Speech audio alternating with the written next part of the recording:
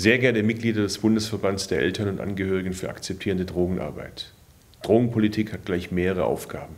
Sie muss durch Prävention das Risiko von Abhängigkeiten und gesundheitlichen Schäden vermindern, vor allem Kinder und Jugendliche schützen und Schwerstabhängigen helfen. Doch die stark auf Repression und Kriminalisierung zielende Politik hat schlimme Folgen, gerade für die Drogengebraucherinnen und Gebraucher. In den letzten zehn Jahren hat es einen Rückgang der Zahl Drogentoter gegeben. Die drogenpolitischen Veränderungen in der ersten Hälfte des Jahrzehnts haben also etwas bewirkt. Allerdings dürfen wir an dieser Stelle keinesfalls nachlassen, denn jede und jeder Drogentod ist einer zu viel.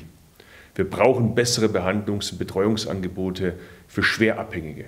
Dazu gehört auch die Diamorphinbehandlung. Der Deutsche Bundestag hat dazu im Mai 2009 die gesetzlichen Voraussetzungen geschaffen. Die Diamorphinbehandlung ist aus unserer Sicht ein sehr gutes Instrument, um die soziale Integration schwer abhängiger Menschen zu ermöglichen. Die Erfahrungen in Studien zeigen, ihre gesundheitliche und soziale Situation verbessert sich deutlich. Die auf der Grundlage des Bundestagsbeschlusses von den gesetzlichen Krankenkassen und der Kassenärztlichen Bundesvereinigung vereinbarte Richtlinie führt leider dazu, dass hohe Hürden für ein bedarfsgerechtes Angebot bei der Heroinbehandlung errichtet werden. Das führt in der Konsequenz dazu, dass die Zahl der Einrichtungen begrenzt ist, die eine Heroinvergabe anbieten. Eine bedarfsgerechte Versorgung wird mit diesem Angebot kaum möglich oder für die Städte sehr, sehr teuer.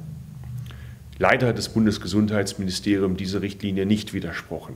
Unser Ziel ist es dennoch, ein gutes Angebot auch in der Fläche zu ermöglichen. Zuletzt hat die grün-rote Landesregierung in Baden-Württemberg eine entsprechende Übereinkunft getroffen. Daneben sind aber noch weitere Hilfsinstrumente nötig, um die Zahl der Drogentoten zu verringern und die gesundheitliche Lage der Betroffenen zu verbessern. Dazu gehört auch ein bedarfsgerechtes Angebot von Behandlungsmöglichkeiten im Strafvollzug. Diese Angebote müssen jedoch so ausgestaltet sein, dass sie die Selbstbestimmung der betroffenen Menschen ermöglichen. Es hat sich in der Vergangenheit deutlich gezeigt, dass ein Zwang zur Abstinenz niemandem hilft, schon gar nicht den Abhängigen. Wir sehen ein ausreichendes Hilfs- und Therapieangebot auch nicht als ein humanitäres Zugeständnis an die Betroffenen. Im Gegenteil, es ist ihr gutes Recht auf eine ausreichende Gesundheitsversorgung. Doch noch immer gibt es kein bedarfsgerechtes Angebot von Therapiemöglichkeiten. Sehr gerne habe ich die Schirmherrschaft für den Nationalen Gedenktag für verstorbene Drogenabhängige übernommen.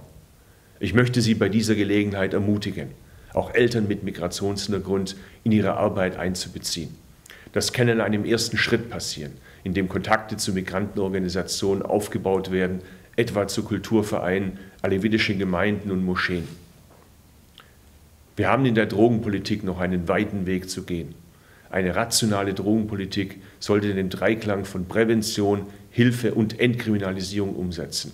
Der Bundesverband der Eltern und Angehörigen für akzeptierende Drogenarbeit leistet hierbei unverzichtbare Arbeit. Dafür möchte ich Ihnen herzlich danken.